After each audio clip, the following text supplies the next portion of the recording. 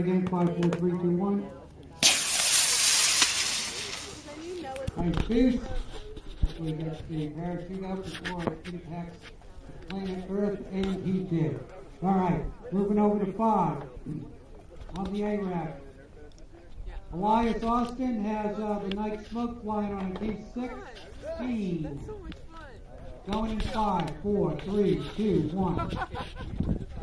Yep, burn the igniter on that one.